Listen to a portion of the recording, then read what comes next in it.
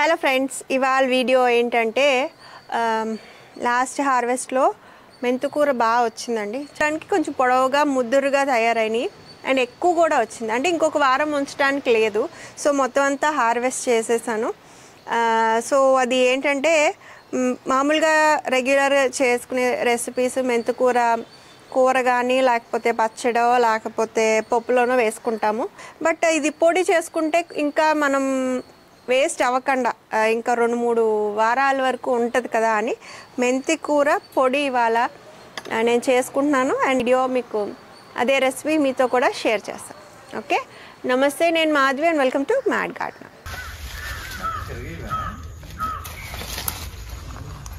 మెంతికూర మొన్న వారం మనం ఎక్కువ అయిపోద్దని వదిలేసాం కదండి పెద్దవి అవుతాయని. సో ఇవాళ నిజంగానే పెద్దవి అయినాయి లాస్ట్ వీక్ అయితే చాలా లేతగా ఉంది. ఇప్పుడు కొంచెం పెద్దవి అయినాయి కాబట్టి ఇవి బాగానే ఉంటాయి వాసన బాగా వస్తుంది. ఈ స్టేజ్ వరకు ఎప్పుడు ఉంచమండి. ఇంకా చిన్న ఆకులు ఉన్నప్పుడే కోసేస్తాం.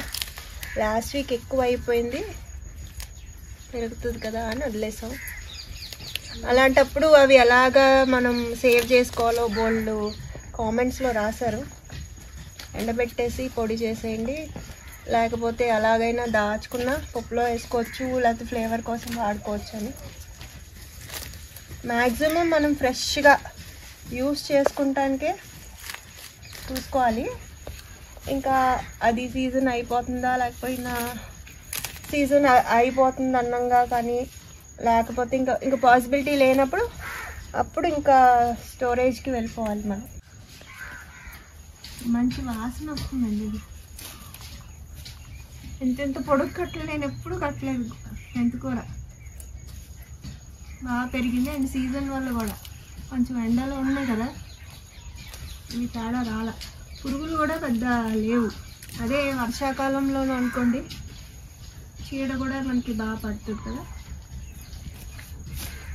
వాళ్ళ ఆకుకూరలు బాగా వస్తాయి. ఆ బచ్చల కూర ఐ మీన్ చుక్క కూర కూడా ఉంది కదా.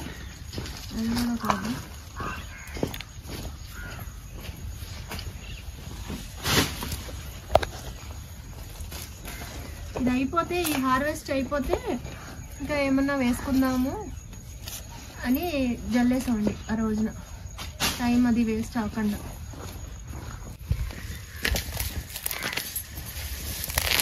అసలు ఇలా పేకటం కూడా భలే సాటిస్ఫైయింగ్గా ఉందండి.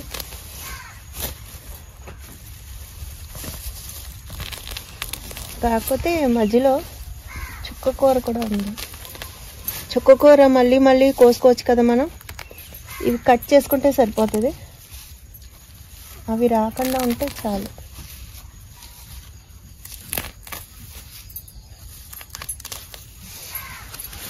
చాలా ఎక్కువ ఉన్నట్టే కోసం. పోయిన వారం ధైర్యం చేసి వదిలేసినందుకు ఈ వారం బాగానే ఉన్నాయి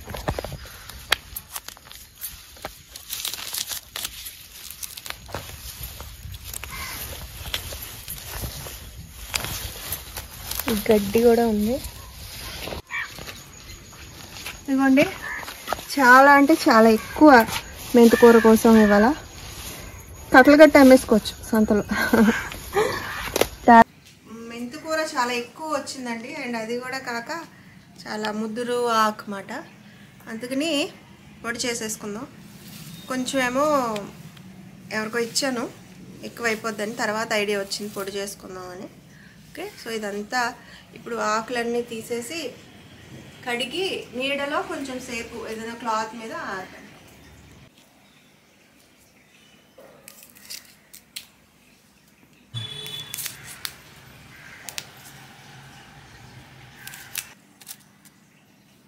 గడ్డి ఆ మడిలో చాలా గడ్డి ఎక్కువ ఉందండి. సో చేసుకుంటే గడ్డి పచ్చడి కూడా చేసుకోవచ్చు. బోల్డ్ అంత గడ్డే ఉంది గరికలాగా. దొంగ ఇవన్నీ నేను తీసేసి కడిగేసి ఆపండి. ఇది ఎండలో అక్కర్లేదండి షేడ్లోనే.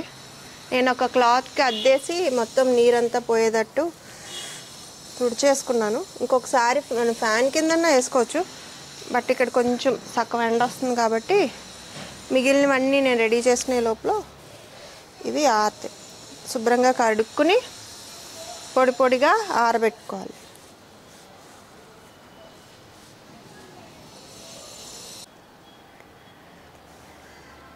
మెంతాకు పొడి చేసుకుంటానికి మనకు కావాల్సిన ఇంగ్రీడియంట్స్ ఏంటంటే మినపప్పు శనగపప్పు ధనియాలు జీలకర్ర ఉప్పు కొంచెం చింతపండు కొంచెం బెల్లం ఎల్లుల్లిపాయలు ఎండుమిరపకాయలు కరివేపాకు. అండ్ కొంచెం అవి లైట్గా ఫ్రై చేయడానికి ఆయిల్.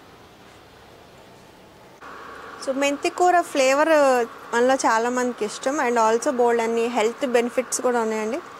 మనకి ఐరన్ కంటెంట్ ఎక్కువ ఉండే ఆకుకూర మెంతికూర అంటారు కాబట్టి సో మనం రోజు మొదటి ముద్ద ఇలాంటి పొళ్ళు మన మునగాకు కానీ ఇది కానీ ఇలాగా మనం తర్వాత మొన్న కాకరకాయ పొడి కూడా చేసుకున్నాం కదండి. అది చాలా టేస్టీగా ఉంటున్నాయి. కొంచెం నెయ్యి వేసుకుని వేడివేడి అన్నంలో కలుపుకుంటే మొదటి ముద్దలు అది లోపలికి వెళ్ళి ఇంకా బాగా కూడా అబ్జర్వ్ చేసుకుంటే సో గబ్బగబా చేసేసుకుందాం. ఓకే? ముందుగా స్టవ్ ఆన్ చేసుకుని కొంచెం ఆయిల్ వేసుకుందామండి. ఇవన్నీ లైట్గా ఫ్రై చేసుకుంటానికి. కాకరకాయ పొడి చేసుకున్నట్టేనండి ఇంచుమించు. పొళ్ళన్నీ ఒకేలా ఉంటాయి మునగాకు ఇలాంటివన్నీను. సో చాలా కొంచెం ఆయిల్ వేసుకుని చ- చాలా కొంచెం ఇవన్నీ మనకి ఫ్రై అవ్వటానికి మాట. ఎక్కువ అవసరం ఉండదు. ఇది వేడెక్కినాక రెండు స్పూన్లు మినప్పప్పు. రెండు స్పూన్లు శనగపప్పు. ఓకే. ఇది ఫ్రై చేసుకున్నాక మిగిలిన వేసుకుందాం.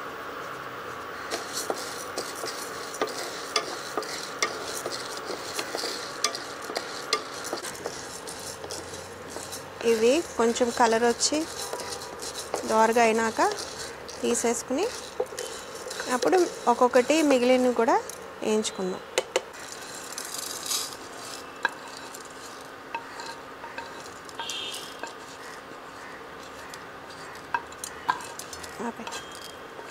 ఓకే.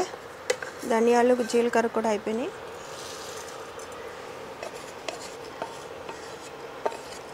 ఓకే ఇప్పుడు ఇంకా దీంట్లో ఆయిల్ వేయనండి. ధనియాలు ఒక టూ స్పూన్స్. జీలకర్ర ఒక స్పూను.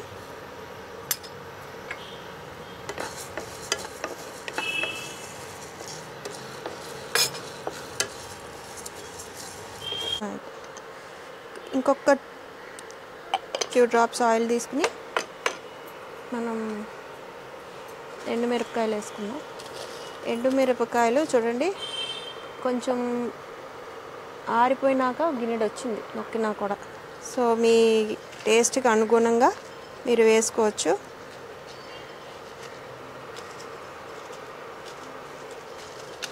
పది నుండి పదిహేను మిరపకాయలు తీసుకోవచ్చు.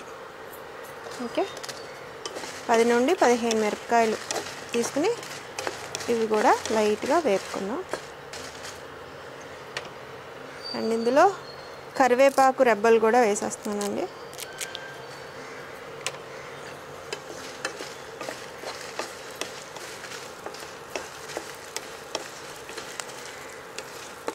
ఓకే ఈ ఎండుమిరపకాయలు కూడా చక్కగా ఫ్రై అయిపోయినాయి. ఇవి కూడా తీసేసుకుందాం. ఈ లోపల మనం ఈ ఖాళీ ప్యాన్లో ఈ మెంతి కూర కూడా ఒకసారి ఫ్రై చేసుకుందామండి. ఇది యాక్చువల్లీ మీరు ముందు రోజు కడుక్కుని రాత్రి ఆ ఫ్యాన్ కింద అక్కడ టేబుల్ మీద ఆరిపెట్ పోసుకుని నెక్స్ట్ డే కానీ ఆ మరుసటి రోజు కానీ చూడండి ఒడిలిపోయినట్టు అయిపోతాయి చూసారా? మనం మునగాకు ఎలాగ ఆరబెట్టుకుంటామో అలా పెట్టుకోవచ్చు. నేను యాక్చువల్లీ ఇది ఫుల్గా ఆరిపోయిందనుకోండి మనం అది పాడవటానికి అవకాశం ఉండదు. మాయిశ్చర్ ఉండకూడదు అనమాట ఇప్పుడు ఇదైనా పర్వాలేదు బట్ నిల్వ ఉంచుకోవటానికి ఎక్కువ క్వాంటిటీలో చేసినప్పుడు మాత్రం అలాగే చేసుకోండి. ఓకే? ఇప్పుడు ఇది నీరు లేకుండా కొంచెం అలా డ్రైగా ఒకసారి ఫ్రై చేసుకుందాం. మెంతి కూర ఫ్లేవర్ వస్తుందండి. సేమ్ మునగాకు పొడిలో ఎలా చేసుకుంటాం మనం అలాగే.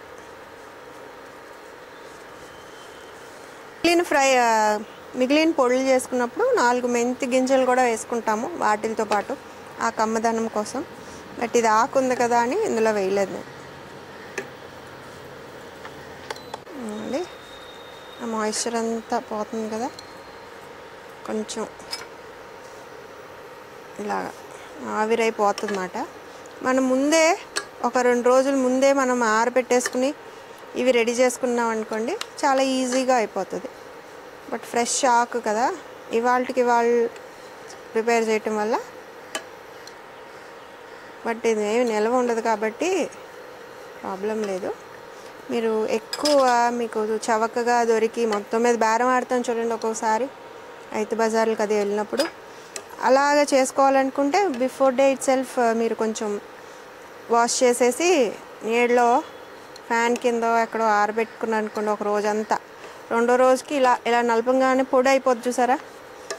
ఆ టైప్లో మీరు ప్రిపేర్ చేసేసుకుంటే ఏమీ లేదు. జస్ట్ ఇలాగ అనేసి అందులో వేసి పౌడర్ చేసేయటమే. ఓకే?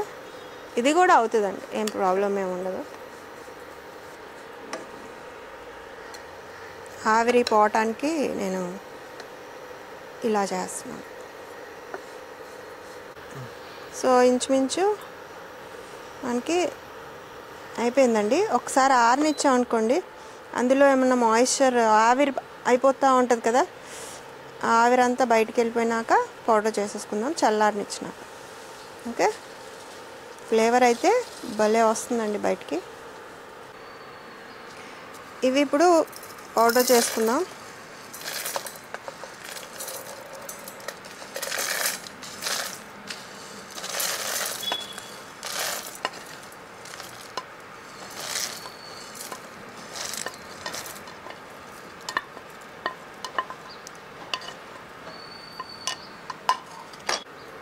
ఇందులో ఒక స్పూన్ స్పూన్నర ఉప్పు వేస్తున్నాను కల్లుప్పు కదా. నేను అంచనా తెలియక ఈ మధ్య ఉప్పు ఎక్కువైపోతుంది ఓకే? సో ఇది ఒకసారి గ్రైండ్ చేసినాక మిగిలినవి ఇవి వేద్దాం ఇవి మూడు వేద్దాం.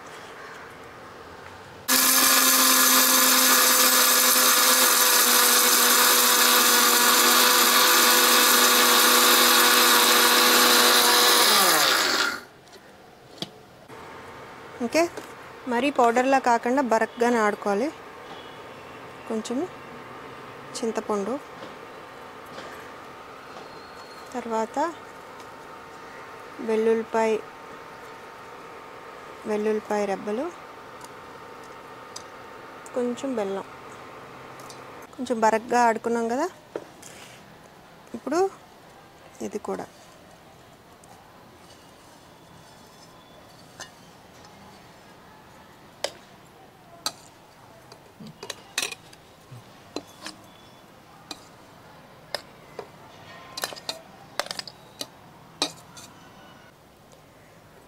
ఇదిగోండి. మన మెంతి ఆకుపొడి రెడీ అయిపోయింది. సో రెడీ అయిపోయింది కదా. టేస్ట్ కూడా మీకు చేసి చూపిస్తాను. అండ్ ఇందులో ఏ పొడులైనా సరే నెయ్యి గట్టిగా వేసుకోవాలండి. ఆవు నెయ్య ఇంట్లో చేసింది. ఓకే.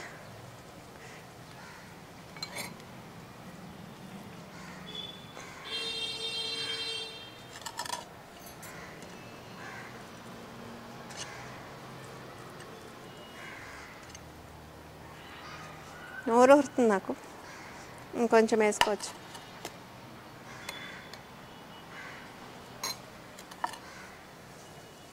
ఇవాళ టేస్ట్ చూడడానికి మా పిల్లలు ఎవరు లేరు. దేవుడి పిల్లలు ఎంజాయ్ చేస్తారు. అలాగే పద్మ అనురాధ కానీ ఇంతవరకు లక్ష్మి ఉన్నా సరే పోటీ పడేవారండి. ఇవాళ ఏం చేశారమ్మా? మేము లేకుండా చేసేసామని. సో ఇవాళ నేను నిశాంత టేస్ట్ చూస్తాను. రా